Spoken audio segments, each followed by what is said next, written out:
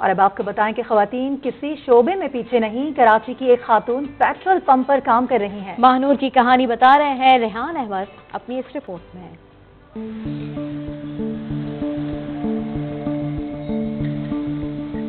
Petrol pumps पर नौकरी मुश्किल मुलाजमतों में से एक है। जहाँ हर तरह के मौसमी मुल्की और घरेलू हालात में पंप्स पर नौकरी मुश्किल मुलाजमतों में से एक है। जहाँ हर तरह के मौसमी, मुल्की और घरेलू हालात में ड्यूटी के दौरान भात भांत के लोगों से पाला भी पड़ता है। और अगर ये मुश्किल मुलाजमत कराची में कोई खातून कर रही हो तो हैरानगी तो ज़रूर होगी।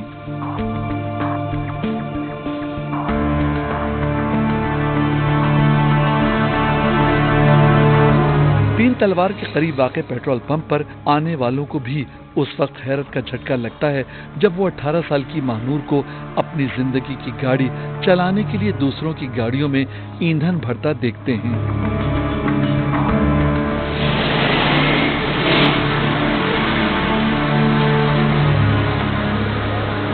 पहले तो देख के शौक हो जाते हैं लड़कियाँ। फिर बोलते हैं, हमें तो बहुत अच्छा लग रहा है। अब हम यहीं से ही आके फ्यूलिंग करवाएँगे। मतलब गर्ल्स वगैरह भी होती हैं, कुछ होती हैं वुमेंस होती हैं वर्किंग वुमेंस होती हैं, वो आके बहुत अप्रिशिएट करती हैं इस चीज़ के ऊपर। और आके सबसे पहले ये बोलती हैं अच्छा आप भरेंगे आपको आता है काम? पहले तो यही सवाल होता है, आपको आता है काम?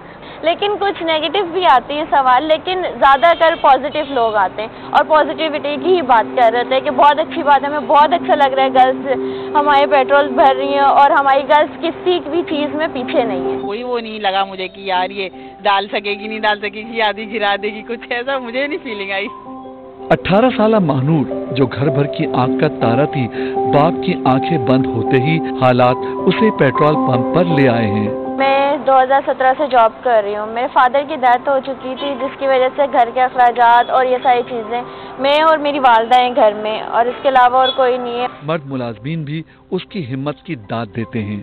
अच्छा हम लोग काम करते हैं हम भी सुबह घर से काम के लिए निकलते हैं वो भी काम के लिए निकलती है।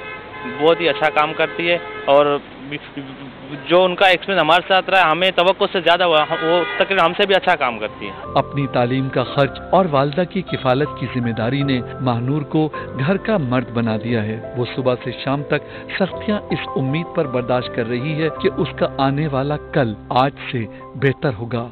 बहुत सारी चीज़ें ऐसी देखती हूँ जो मुझे बहुत एक्सपायर करती हैं और मैं चाहती हूँ जो ये सब कुछ हो रहा है वो मेरे साथ क्यों ना हो।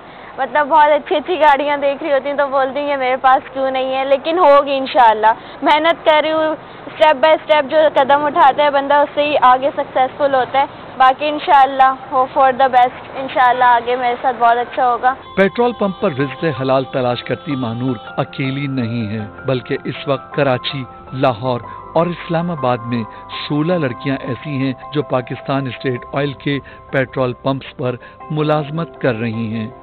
एक नए दौर का आगाज़ हो चुका है। लड़कियाँ हर सतह पे मर्दों के शाना बचाना है। अभी इनकी तादाद कम है, लेकिन बहुत जल्द एक वक्त आएगा जब यही लड़कियाँ पाकिस्तान बदलेंगी।